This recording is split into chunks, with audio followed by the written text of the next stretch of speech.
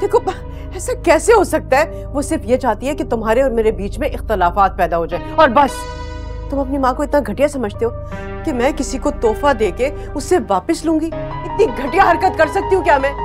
मैं तो अपने बेटे की खुशी की खातिर पूरी दौलत निछावर कर। अम्मी! अम्मी अनुषा झूठ नहीं बोल रही है। मैं उसे अच्छी तरह जानता हूँ। वो बहुत स्ट्रेट फॉरवर्ड है। अच्छा? क्या तुम्हारी माँ झूठ बोल रही है? इल्ज़ाम लगा रही हूँ मैं उस पर। अरे हारिस बेटा तुम नहीं जानते आजकल की लड़कियों को। ये इनकी मकारियाँ चला किया मुझे अच्छी तरह से मालूम है। ये इसी तरह से लड़कों को पागल अम्मी अनुषा ऐसी लड़की नहीं है।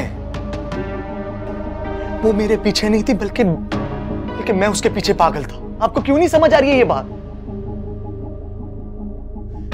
उसका तो सिर्फ़ रिश्ता टूटा है ना। लेकिन मैं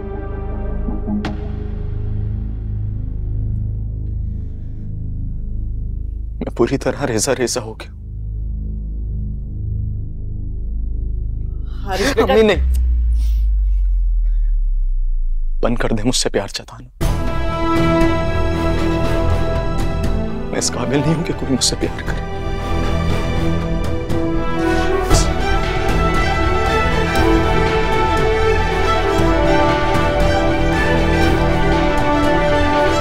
बेटा